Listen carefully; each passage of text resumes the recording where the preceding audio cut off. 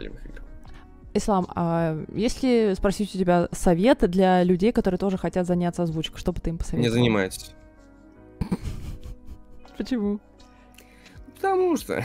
Не, на самом деле, э, во-первых, я могу сказать, само собой, я это везде говорю, никогда, никогда не начинайте с озвучки аниме. Само собой, никогда не пытайтесь э, озвучивать аниме. Почему? Начните с книг. Начинайте читать вслух именно книги. В идеале художественную литературу. Потом, если вы собираетесь себя прокачивать, потом берете сериалы с живыми людьми, сериалы или фильмы.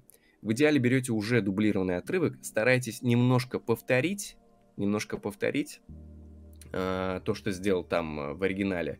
Но тут есть такая тоже ловушка. Не весь дубляж, не вся озвучка является хорошим примером для повторения обучения, потому что может возникнуть такая штука, как «Привет, как дела?» Немножко это, ну, могут как-то начать так пародировать, и это тоже не есть хорошо. Поэтому э, лучше не пытаться из себя что-то строить. Вот самый главный совет — быть собой. Быть собой, э, вслух читать, понимать, как вы разговариваете в жизни, и будет вам счастье. Вот. Но ты же говоришь при этом, что сам не любишь читать.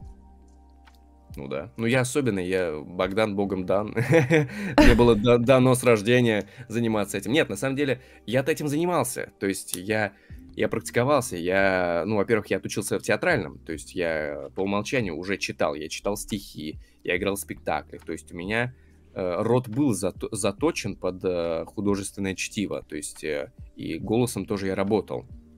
Потом уже дома я учился именно озвучивать на живых людях э, фильмы, сериалы, и, э, и вот как-то так.